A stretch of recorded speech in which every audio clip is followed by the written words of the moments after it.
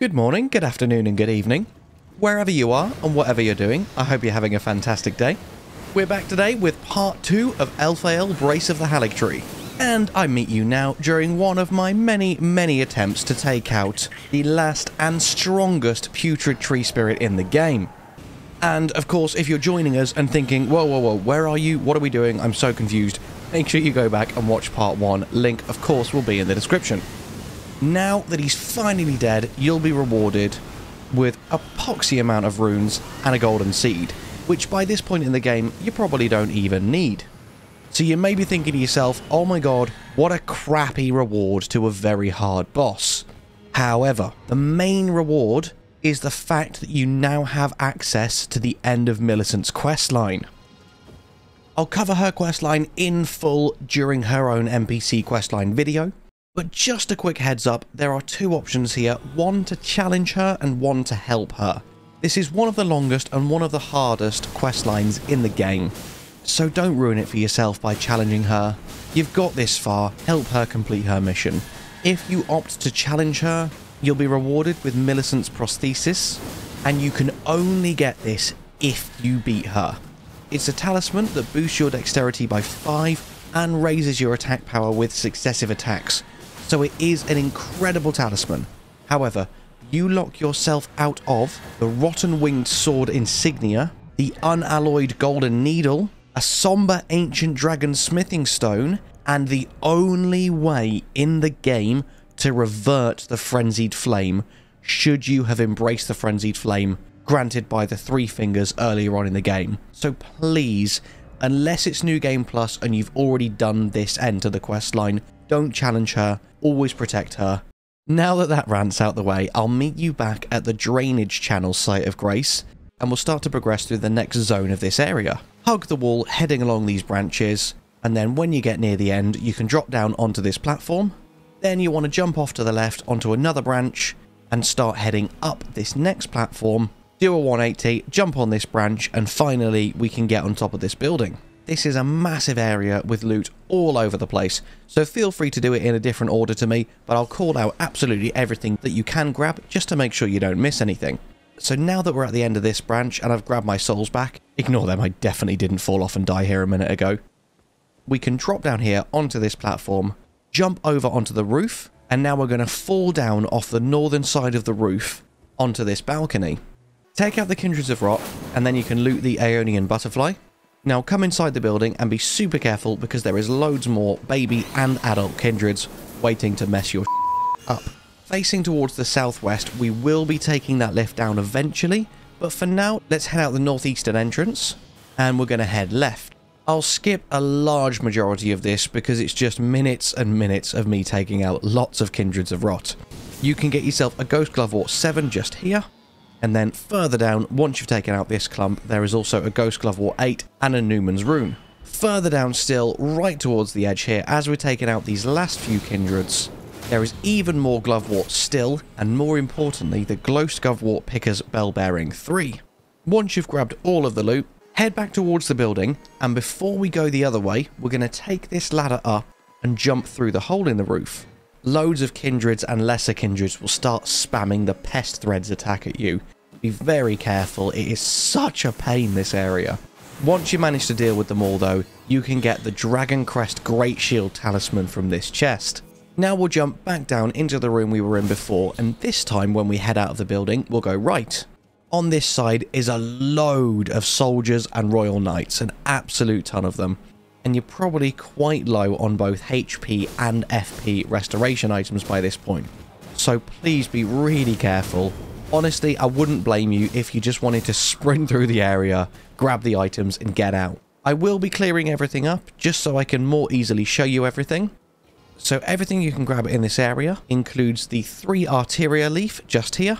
There's also a load of Miquella's lilies scattered around. And then right at the end, once we've taken out the Great Bow wielding knight and the spear wielding knight, you can also loot a Hero's Rune 5.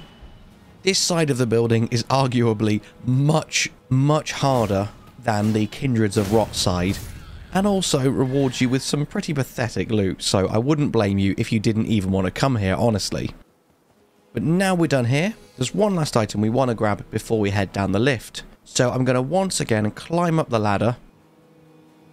And then you can follow my route as we're dropping down these series of platforms and branches. And just here, you can jump over onto the side of the building and grab yourself a nascent butterfly. And now, as I'm dropping down, I'm just realizing you could have actually grabbed this earlier by just using the door. but anyway, we're here now. We've got the last item. It was a very unimportant one. So, let's head down the lift and light the site of grace at the Haligtree roots and prepare for a very, very agonizing boss fight. There's a few more things we're going to do before we head toward the southwestern end of the room and through the boss fog, because I want to delay this fight as long as possible. So we'll head over here to the southeast first, grabbing a load of Aeonian butterflies, along with the Traveler's armor set. Then, once you've had your fun grabbing all the loot, start coming up the stairs here, and you can take a lift up. This unlocks a shortcut of sorts, and brings you to the top of the tower where we jumped off and fought the first Erdtree avatar. I'm not really sure the point of the lift, considering that we have just lit a site of grace. We don't really need, like, I don't, I'm not sure where that shortcut's taking us. But anyway, I can no longer delay the inevitable. Let's go back down, head into the boss room, and start trying to tackle Malenia, the Blade of Miquella. And I was really excited. I thought, oh damn, I've got pretty good at this game. I managed to actually push her into phase two during my first attempt. I thought this is going fantastic. And then in comes Waterfowl Dance to absolutely ruin my day. So let's try again and die even quicker than we did the first time. And I think for now I will just shut up and let you bask in the pain of this death montage as I attempt to fight and defeat Malenia, the Blade of Miquella.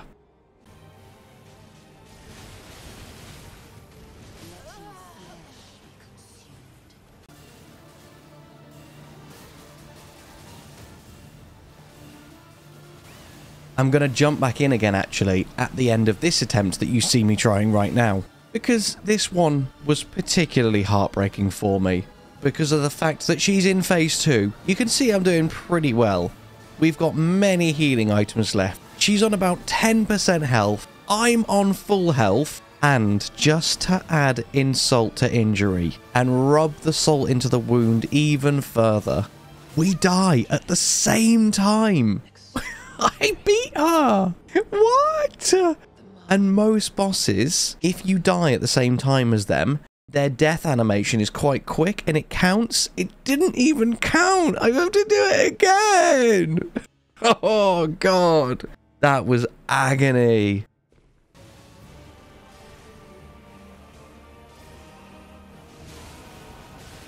So, we'll die one final time and now you meet me back here on attempt number, I don't know, nine maybe? And I finally, finally managed to beat her. And we are rewarded with Malenia's Great Rune and the Remembrance of the Rot Goddess. God, that fight is infuriating. So now, let me recollect myself and I'll meet you back here again for the next part of the video.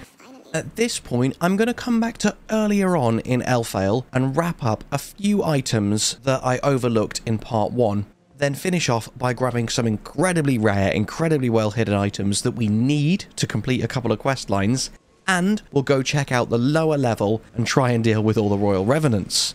So firstly, halfway down these stairs that we came to right at the start of the first video, you can hop onto this balcony, jump off over to the left hand side, and once you've very carefully taken out this soldier and this Cleanrot Knight, you can head into the room just here and loot the spirit ashes for Cleanrot Knight Finlay.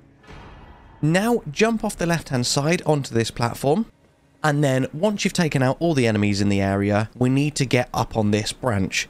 As you can see, I don't quite successfully make the jumps from here. What you need to do is head into this room, and as we're climbing up this branch, I'm going to pause here and show you two incredibly important items that I don't grab until much later on, but you can get them right now. You can either continue heading towards the top of this branch, or you can come the way that you see me going now, where you just head towards the top of the platform, And inside this room, in the chest, you can get a somber ancient dragon smithing stone. And then at the end, right where it connects to the branch that I'm on right now, you'll see a seedbed curse. So make sure you grab them two items as well. Now we'll cut the footage back here and also grab the five old fangs. Now you don't have to come here and do this bit later like I did. So once you've grabbed them two items from up above and the five old fangs, we're done here, so we'll move into the next part. You meet me here now, stood on this ledge. So what I'm going to do is skip forward in time and show you exactly how to get here, because stupid old me didn't click record. So I'm going to teleport much further in time to a far stronger version of my character that's already completed the game to show you the run for how to get to this balcony. I meet you at the prayer room site of grace and just follow down these stairs and hop down the same platforms as me. Eventually, you'll be outside of the room with the two Cleanrot Knights in it, and you can jump off the edge of the balcony here, and in no time at all, you will be in the exact right place that you need to be, just here. Now head down the stairs into this incredibly dark room, and round the corner you'll find the Seedbed Curse. This is the fifth and final Seedbed Curse that you need to complete the Dung Eater's questline, so stay tuned for that video coming very soon. Now we'll drop off the ledge and start destroying these Crystallians with the Stones of Gurranq. And once all three of them are dead, it allows us to loot this Somber Smithing Stone 9 here, and also a Pickled Turtleneck. You'll now find that we're also on the bottom floor, surrounded by a load of Royal Revenants. So I'm going to summon my Mimic... So I'm going to summon my Mimic Tear to help me out here. You can also go in this room and grab a legendary item, which is a Lord's Rune. And now, using the power of the healing spell, let's start clearing out this area. Once this first one's dead, I'm going to start out by heading southeast, and as soon as you start to head into this room on your right hand side, another one will spawn, so get ready to turn around and take him out as soon as you've looted this 3 beast blood. Again, heal is going to absolutely trivialize him, and then once he's dead, we'll head south to take out this next one. Now, unfortunately, I get summoned to another world as a hunter when I'm right in the middle of killing this guy. Which really winds me up, because when I come back to my world, my Mimic Tear has gone, he's back on full health, and he kills me. However, whilst we are here, in the world of Catnap the Snap, Catnap the Snap, what a name.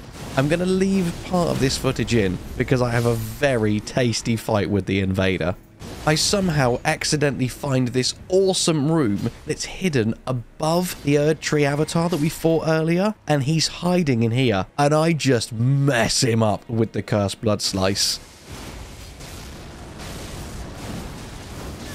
He dies, we get a rune arc, and we get to go back to our world. Unfortunately, as I say, I then get obliterated by the Royal Revenant. So I'll cut the video here and I'll meet you back right at the bottom of the area where all of the Royal Revenants are. I'll turn off the item so I stop being summoned to help people for now as we go through and try and take out all these Royal Revenants. You meet me now right at the northwestern end and I've just grabbed a smithing stone from this corpse and you see me here just in time to summon my Mimic Tear and die. So let's leg it back through all of the enemies and all the areas that we've already visited and finally, we'll be back here, where I was summoned to the other person's world. This time, because I didn't get summoned, we're able to easily take out the Royal Revenant, before finally being able to loot four Aeonian butterflies. We can also grab the loot from the corpse of the Revenant, which is a Ghost Glovewort 9, and then there's a Golden Rune 12 just a little bit further along, before finally using a Stone Sword key to access this room and getting the upgraded version of Marika's Scar Seal, Marika's Soreseal. So now that we've completed the bottom area, we have finished Elphael Brace of the Haligtree. Congratulations, this was an incredibly tough area. That will now lead us into wrapping up the Forge of the Giants and then finally getting into the crumbling Farum Azula. Thank you as always for watching. I hope you have an amazing day and I'll see you in the next one. Bye bye.